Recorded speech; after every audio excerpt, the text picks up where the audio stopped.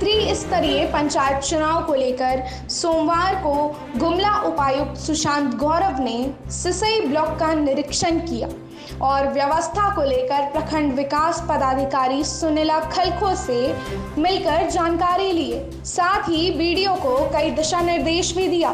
वही उपायुक्त ने वोटर लिस्ट पर हस्ताक्षर व मोहर का भी निरीक्षण किया। इस दौरान उपायुक्त ने पत्रकारों को बताया कि चुनाव व्यवस्था को लेकर सिसई ब्लॉक का भ्रमण किया गया। यहाँ चुनाव को लेकर सारी व्यवस्था ठीक है। व्यवस्था में कोई कमी हो तो वीडियो को सूचना देने का निर्देश भी दिया गया है। चुनाव के दौरान ग्रामीण क्षेत्र में पानी की कमी का सूचना मिलती है। तो वैसे बूथ स्थल पर पानी की व्यवस्था कराई जाएगी। पंचायत चुनाव के मछेंजर किसी मतदाताओं को किसी तरह की परेशानी उठाना ना पड़े। इसके लिए भी हर बूथ में कमियाँ को दुरुस्त कराया जा रहा है। सभी बूथों में पानी व सुरक्षा का व्यवस्था बेहतर हो, इसके लिए प्रखंड विकास पदाधिकारी को निर्देश दिया गया है। चुनाव निष्पक्ष और शांतिपूर्ण हो। ये हम प्रशासन की ज़िम्मेदारी है। कोविड को लेकर भी सभी को सावधानी बरतने को कहा गया है। इसको लेकर भी प्रखंड प्रशासन को निर्देश दिया गया है।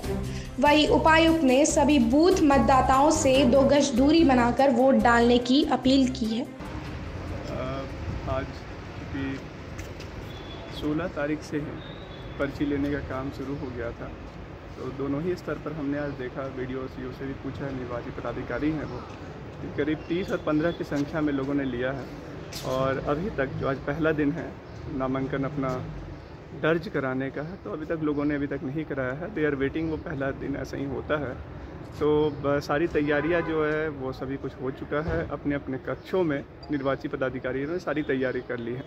चाहे वो मटेरियल की हो या अपनी ट्रेनिंग से संबंधित अपने लोगों की हो, सहायक निर्वाची पदाधिकारी के दृष्टिकोण से है, सब कुछ है। सुरक्षा के दृष्टिकोण से भी जो है, यहाँ थाना वगैरह से पूरी तैयारी हो चुकी है। And now we are fully assured कि यहाँ पर हम लोग इस पूरे प्रक्रिया को जो है शांति और अच्छे तरीके से संपन्न करा सकेंगे। अभी जैसे काफ़ी गर्मी है, इसमें बहुत सारे जैसे पानी इत्यादि की भी कमी जगह जगह हो गई उन सबको लेकर क्या रणनीति अपनाई जा रही है?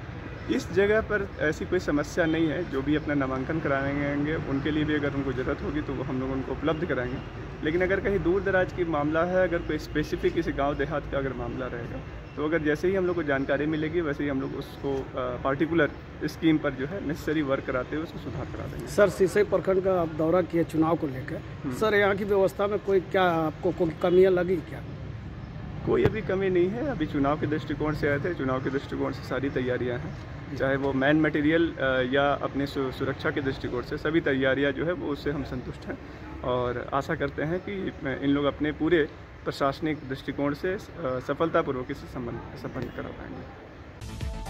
अपने राज्य से जुड़ी हर ताज़ा खबरों के लिए आप हमें सब्सक्राइब करें। साथ ही बेल आइकन बटन दबाना ना भूलें।